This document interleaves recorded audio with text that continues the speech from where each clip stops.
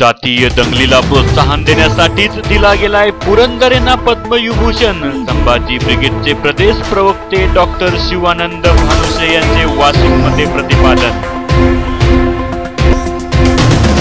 नमस्कार मी राम धनगर वत्सकुलमध्ये आपले स्वागत आहे. आरक्षण म्हणजे गरिबी हटावचा नारा नसून तो एक प्रतिनिधित्वाचा भाग आहे. सामाजिक व शैक्षणिक दृष्ट्या मागासलेपणाच्या निकषावर ओबीसी आरक्षणाची तरतूद राज्यघटनेत करण्यात आली आहे. त्यानुसार न्यायमूर्ती गायकवाड आयोगाने मराठा समाजाला मागास ठरवले असून मराठा समाजाचा ओबीसी समावेश केल्याशिवाय महाराष्ट्रात न्याय बंधुता व समता प्रस्थापित होणार नाही असे प्रतिपादन आरक्षणाचे अभ्यासक तथा संभाजी ब्रिगेडचे प्रदेश प्रवक्ते डॉक्टर शिवानंद भानुसे यांनी वाशिम येथे अठ्ठावीस जानेवारी रोजी आयोजित पत्रकार परिषदेत केलं आहे दरम्यान शिवचरित्रकार बाबासाहेब पुरंदरेंना पद्मविभूषण पुरस्कार कोणत्या निकषावर दिला हे स्पष्ट नसताना केवळ आगामी निवडणुकांची पार्श्वभूमी लक्षात घेऊन सामाजिक तेढ निर्माण करण्यासाठी सत्ताधाऱ्यांनी या पुरस्कारासाठी पुरंदरेंची निवड केली अशी निषेधात्मक प्रतिक्रिया संभाजी ब्रिगेडचे प्रदेश प्रवक्ते डॉक्टर शिवानंद भानुशी यांनी माध्यमांना दिली आहे. पाहुयात वत्सगुल्म लाईव्हचा हा विशेष वृत्तांत. आम्ही केंद्र सरकारचा सर्वप्रथम जाहीर निषेध करतो.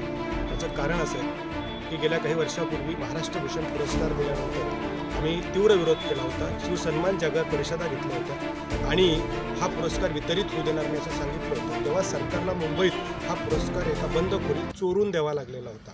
त्याचवेळी सरकारच्या लक्षात आलं होतं की समाजाच्या भावना काय आहेत. कारण या बाबा पुरंदरे राजा शिवछत्रपती या त्याच्या कादंबरीमध्ये जिजाऊंची शिवरायांची आणि संभाजीराजांची जी बदनामी केलेली आहे इतिहासद्रोह केलेला आहे इतिहासद्रोही ती बखर आहे त्यामुळं आमचा तीव्र विरोध आहे.